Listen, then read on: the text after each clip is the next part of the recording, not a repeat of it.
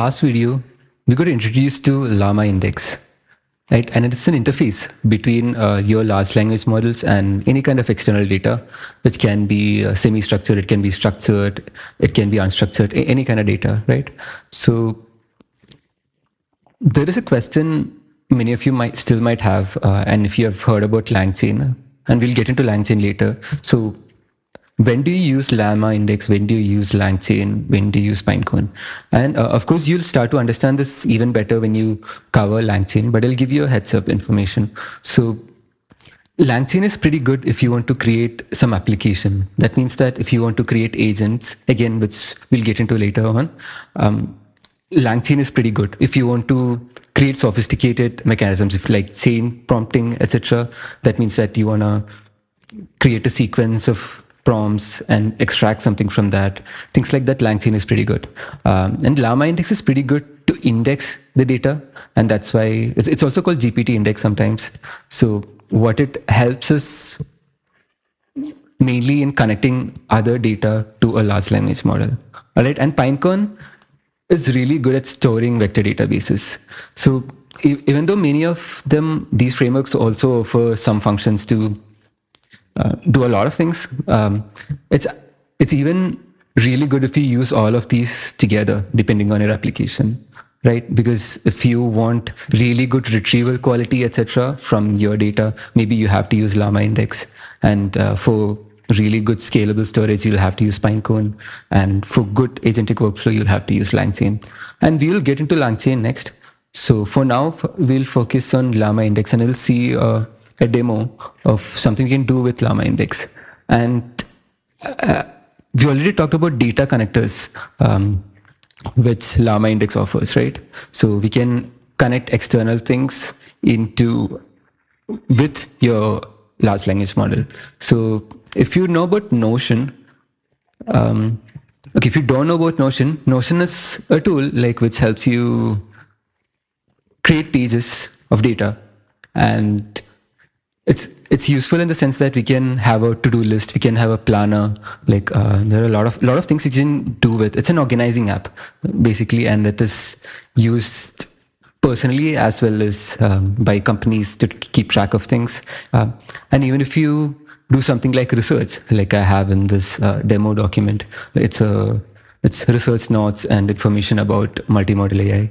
So if you have things like this and you have some notes, etc., too, you can store it in that, and it helps keep it organized. And uh, note that this is just an example I'm using. So Llama Index um, in in this hub called Llama Hub offers a lot of data connectors too, like uh, a lot of connections uh, to, let me see, there is, yeah, there is connections to uh, Reddit, for example, you can uh, read it from uh, Weaviate. Um, and it, you, they also have like simple web crawlers with things which run on your browser. And a lot of connections with a lot of like you even have a hugging face interface you have a youtube transcript reader you can have all of these data connectors. And I'm just going to give you an example of the Notion. Yeah, I'm just going to use Notion here. And I'll see what we can do with that. Uh, so we have two pages and it's just probably, this can also be updated live, right? And we can also automate something like a summary uh, as a simple example. So every week, whatever you put in this, you get a summary as a PDF. That'd be pretty good. Or if you want to draft a report, or even if you want to start writing a paper with this, and just, you just want the outline, already you can probably set up a pipeline using Llama Index if you connect Notion to it. And if you if you have some notes or if you have some suggestions, that might also be able to be. I mean, that also you can use in a large language model. You can add some prompt. Um, and then you can have that in a report or you can have that in a to-do list because you can write back to Notion 2 through 2 through this API. Okay. Let me just go to this notebook for now.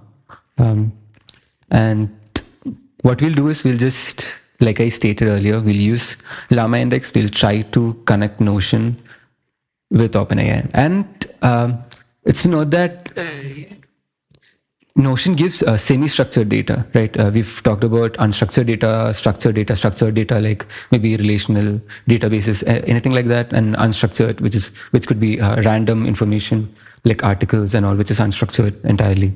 So even images and all might come in that. And Notion gives you an API and it gives you a set amount of information, right? So it's it's semi-structured data. It's semi-structured and uh, they give you an API. Um, you can explore this API, what they will give you if you want to work with Notion itself, but you are open to go to Llama Hub and open any of these and explore what interests you. This is just for a demo that I'm using uh, the Notion data connector. All right, um, let's just wait. Let me just clear the cells first. All right.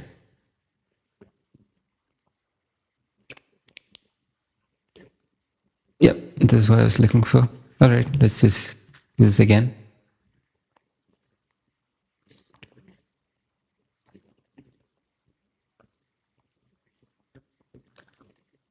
Okay, I don't think you can see the entire uh, API key, so it's all right. It's all right this is uh, us just setting the OpenAI API key and the Notion integration token. Um, don't worry about this uh, being exposed. I will uh, just remove this after this.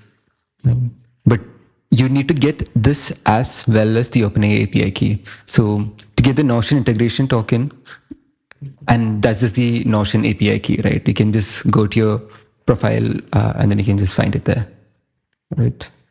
And once you have a page created, you'll also have to connect it here and you can just have uh, the connections, right? It's already connected.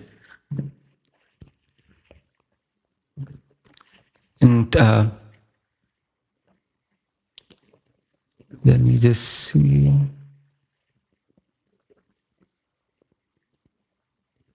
If you go to your integrations, you can see, okay, I have uh, created this. So you'll have to create an integration first, and then you can uh, save it, and then you can get the API key from it, right? See, uh, you can just copy this, integrate. This is your API, key for that, and it's connected to um, that page as well, right?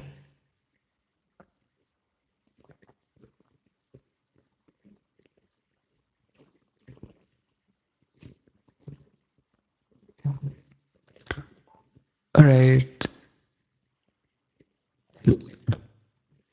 Okay, uh, so we have run both of those. Now uh, we'll get the Notion page reader because we'll need that function to read whatever is in the page. All right.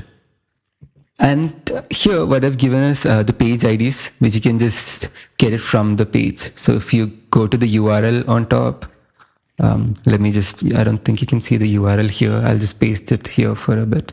So this is the URL to this. And whatever is here, this is your page ID. Let you just copy that and then you bring it back there. Yeah, and that is the first page ID. And we have two pages, right? We have demo and demo two. Uh, it just has some uh, random research data and uh, some notes. Right. let's go back here. Let's run that. So this is uh, reading the pages. All right, so it's loaded. And uh, we can print out uh, the metadata and the extra info from that, right? Okay, and it's also printing the first 100 characters, right? It looks fine. Now we have the data and then of course we we need to index the data. So we'll just um, create an index from that. We've already done this uh, for pinecone also that we'll have to create an index.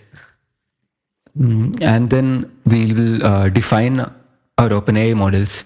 So we're putting temperature a little bit higher. Uh, temperature is a topic which we've discussed before too. And if the temperature is pretty low, that means that the probability, the uh, so when you have a large language model and right, okay, if you have n number of predictions for the next word, right, uh, this might have, let's say, a 90% probability. This might have 60%. This might have 50. So if you have a zero temperature value, it's most likely that this 90 will be selected. And as you increase the temperature, it's probable that some something in the top will be selected, right? So it's good to vary uh, whatever is selected as the next output. Sometimes that helps. Uh, you can play around with that too uh, whenever you use this.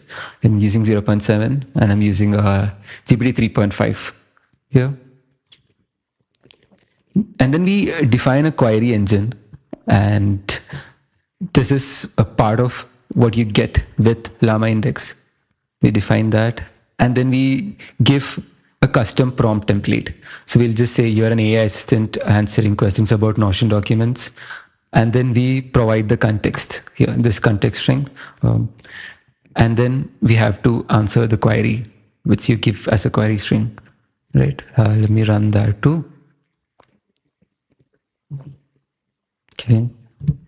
I think I, right, let me run this again. Okay, we'll just, we, we have a query engine ready. So we'll just pass this query to it and then um, we'll save it as response one. So we'll just take some information from this.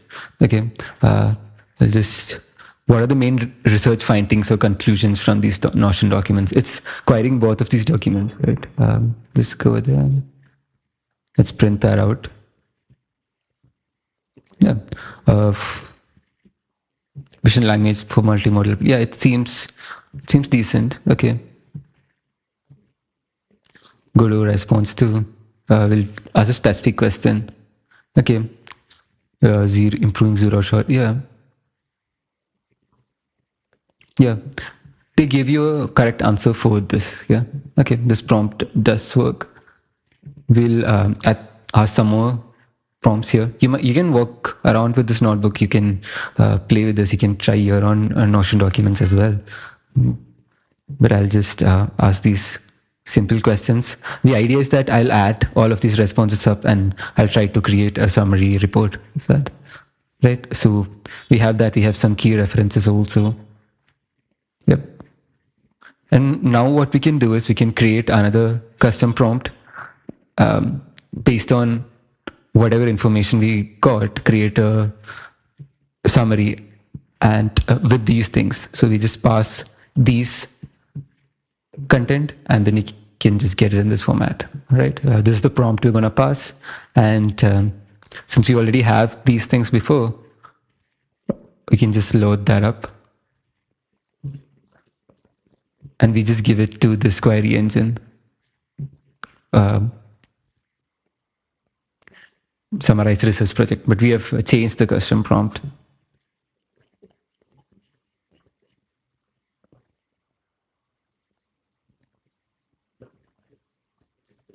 Just run that.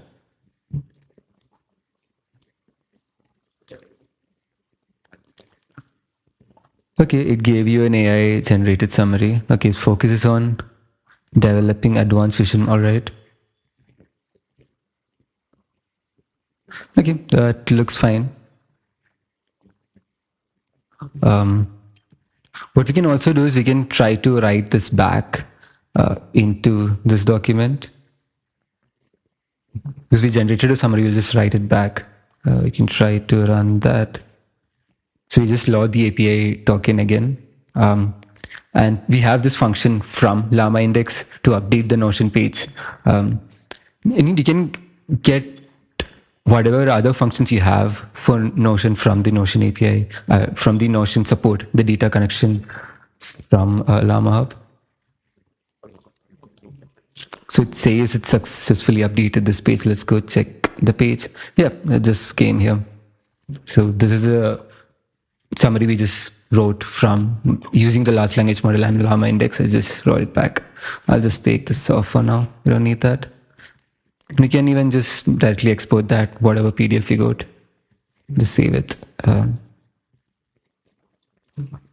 we'll give an additional insights too, uh, maybe for even more. We can just use reuse the query engine again and again. Okay. Go there, we'll see. Yeah, we go this. Let's download it. Okay.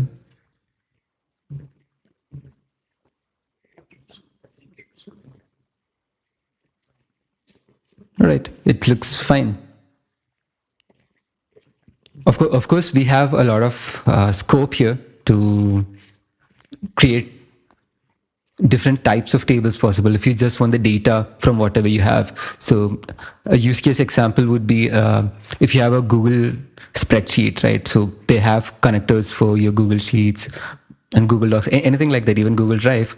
So what you can do is if you if everybody updates on Excel sheet and you want a weekly summary of that every week, you can still do that. Um, and using the specific data connector. And if you want comments on it, you want an analysis on it, you can connect it to a large language model. So, so let's say you have this Excel sheet of, let's say, sales. Okay. And uh, you have this updated by people in a company, uh, maybe on a daily basis or something like that. And you can connect this whole sheet to a large language model and you can do a lot of things with it right um, of course if you have something like if even if you use langchain along with this and you have agents to do analysis that that will be even nicer so i will also show you what we can do when we use all of these together. So so far we've talked about vector databases and pinecone and all and we have talked about llama index too. Uh, i'll show you something more what you can do with llama index because now we've been just working with text data. We'll just take a look at multimodal data also uh, in the next video. But yeah you can do a lot of things using all of these frameworks which are available for large language models.